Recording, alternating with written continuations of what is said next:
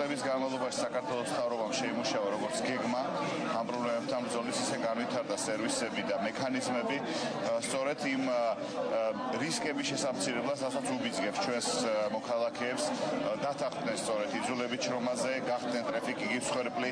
ყველა მექანიზმია დღეს შექმნილი როგორც ხელფლების იდენტიფიკაციისათვის, ასე მათ ხარდასაჭერად დღეიდან სახელმწიფო პროგრამით დაზღვეული მოქალაქეების უფლებებს ჯანდაცვის სამინისტროს ახალი სამსახური დაიცავს.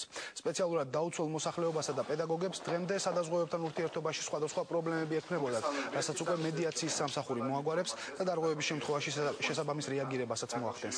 სამსახური 20 მაისიდან რეგიონებში საინფორმაციო კვირაულს დაიწყებს, სადაც მოხდება მოსახლეობის პრობლემებთან ადგილზე გაცნობა და ასევე დაზღვეულებს სრულ ინფორმაციას მიაწვდიან საკუთარი უფლებების შესახებ. სამსახურის პრეზენტაცია დღეს ჯანდაცვის სამინისტროში გამართა.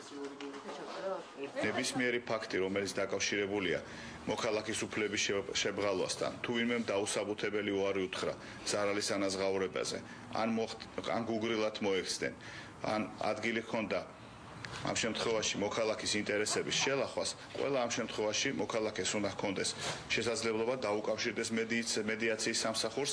უნდა ხომალა განვაცხადოთ და უთხრათ ყველა მოქალაქეს, რომელიც დაზღვეულია სახელმწიფო სადაზღვევო პროგრამით. ჩვენ ხარდამხარ დაუდგენთ მას და მოუგვარებთ ყველა იმ პრობლემას, რომლებიც წარმოექმნათ სადაზღვევო კომპანიებთან ურთიერთობებში. ხშირი დარღვევების დაფიქსირების შემთხვევაში ჩვენი დასკვნის საფუძველზე არის საშუალება და ახლა მოქმედი კანონმდებლობა ამას ითვალისწინებს, რომ სრულიადაც ჩამოერთვას მზღვეველ კომპანიას ფუნქციონერების საშუალება